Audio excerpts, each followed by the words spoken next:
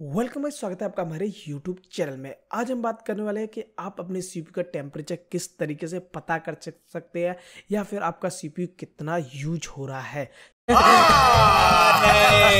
है सारी जानकारी इस वीडियो में आपको मिलने वाली है। यहाँ पे जीपीयू का टेम्परेचर एंड आपकी रैम वगैरह कहाँ पे यूज़ हो रही है, कौन से ऐप आपके सीपीयू का ज़्यादातर यूज़ कर रहे हैं, आपके सीपीयू पे कितना लोड है, सभी जानकारी इस वाले वीडियो में आपको मिलने वाली अभी मज़ा आएगा ना, भिड़ो। तो बने रहिए हमारे साथ एंड हमारे चैनल को सब्सक्राइब करके बेल आइकन ज़रूर दबा लिए चलिए वीडियो को शुरू करते हैं। तो चलिए, सबसे पहले आपको यहाँ पे अपने पीसी में कोई भी ब्राउज़र ओपन कर लेना है एंड ब्राउज़र ओपन करने का आपको लिखना है यहाँ पे N Z X T cam जैसे आप इसको लिख के सर्च करोगे आपको पहले नंबर पे आपको एक वेबसाइट मिल जाएगी। यहाँ पे आपको क्लिक करना है एंड यहाँ पे आपको डाउनलोड कैम का ऑप्शन मिल जाएगा। सिंपली यहाँ पे क्लिक करके इसको डाउनलोड एंड अपने पीसी में इंस्टॉल करना है। इंस्टॉल करना तो सभी को आता होगा। नहीं। तो जाके आप कर लीजिए ठीक है? करने के बाद सिंपली आपको यहाँ पे एन एस जेड कैम का एक लोगो देखने को मिल जाएगा। तो यहाँ पे सिंपली इस पर क्लिक करना है। जैसे ही आप क्लिक करोगे यहाँ पे आपको साइन अप एंड लॉगिन का ऑप्शन मांगेगा। अगर आपको साइन अप करना है लॉग करना है तो कर सकते हो। अगर नहीं करना है फिर तो आप कंटिन्यू इन कैश मोड का यूज़ कर सकते हो। सिंपली जैसे ही आप क्लिक करोगे यहाँ पे टर्म एंड कंडीशन सर्विस वगैरह आएगा, यहाँ पे क्लिक करके आपको कंफर्म कर देना है। कंफर्म करोगे, जैसे ही आपको सारी चीज़ें आपके पीसी पे आ जाएँगी, यहाँ पे देख सकते हो सीपीयू टेम्परेचर आ रहा है यहाँ पे, आपका 61 चल रहा है एंड आपका लोड 40 परसेंट है।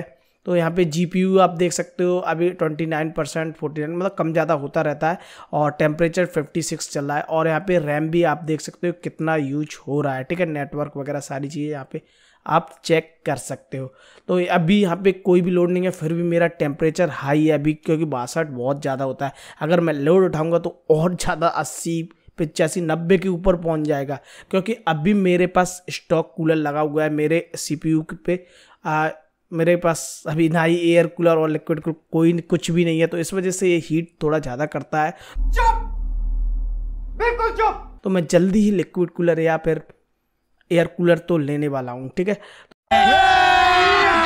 अभी मज़ा आएगा ना भिड़ो। तो यहाँ पे आपको नीचे की साइड यहाँ पे देख सकते हो यहाँ पे टॉप प्रोग्रेस दिखा रहा है। यहाँ पे आपको बैकग्राउंड में जो जो ऐप चल रहे हैं कभी कभार आप गेम करते तो लैग वगैरह हो जाता है तो आपको पहले चेक करना है यहाँ पे आपके बैकग्राउंड में क्या क्या ऐप वर्क कर रहे हैं। फालतू के जो है, उनको हटा दो। जो ज़्यादातर आपका सीपीयू का यूज़ कर रहे हैं, उनको हटा दो पहले से, ठीक है? तो हटाने के लिए आपको सिंपल यहाँ पे क्लिक करना है एंड आपको सारे ऐप आ जाएँगे।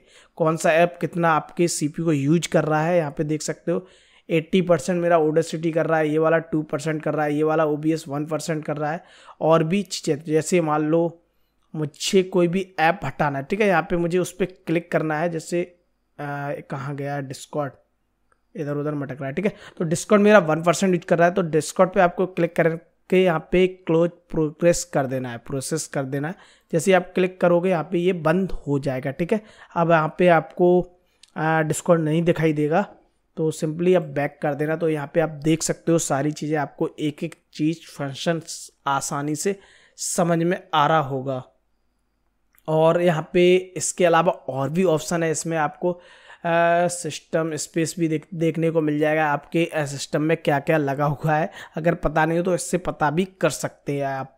और चीज़ें आ जाते हैं यहाँ पे गेमिंग वगैरह ये आपके लिए कुछ नहीं है। इसके इसका अगर आप प्रोडक्ट यूज़ करते तो उनके लिए ये चीज़ें हैं।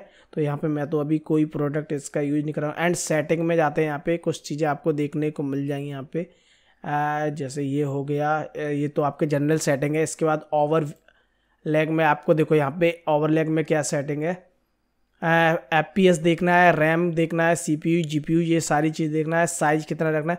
और ये कब यूज़ होगा? जब आप गेम खेले ऑटोमेटिक सो ओवर लॉन्चिंग ये गेम ठीक है? अगर आप गेम कोई भी लॉन्च करते हो तो उसके ऊपर ही अपने आप ही ऐड हो जाएगा। या फिर कंट्रोल ओ दबा के आप इसको यूज़ कर सकते हो। तो यहाँ पे मैं यूज़ करके भी अब भी बताऊँगा। इसके और भी फ़ंक्शन जान लेते हैं यहाँ पे आप। यहाँ पे सबसे मिनी मोड ये सबसे बेस्ट मेरे को लगा है मिनी मोड यार।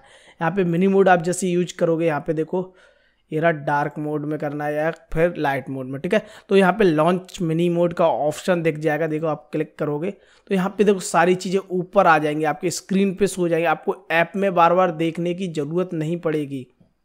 यहाँ पे आपको ऊपर ही सारी चीज़ें C P CPU temperature CPU load C P U clock G P GPU temperature G P GPU load GPU clock सारी चीज़ें आपको ऊपर ही शो हो रही हैं।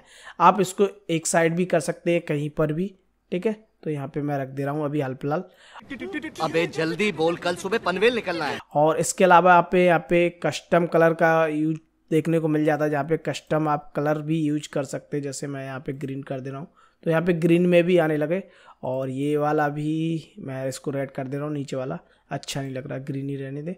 ठीक है, ये हो गया, ठीक है। तो यहाँ पे कस्टम कलर का यूज़ भी कर सकते हैं एंड ऑफिसिटी वगैरह साइज़ वगैरह आपको रखना है, किसमें देखना है ऑरिजेंटल एंड वर्चुअल यहाँ पे क्लिक कर सकते हैं, यहाँ पे ऐसे भी आ जाएगा। ये वाला मेरे को ज़्यादा बेस्ट लगा है।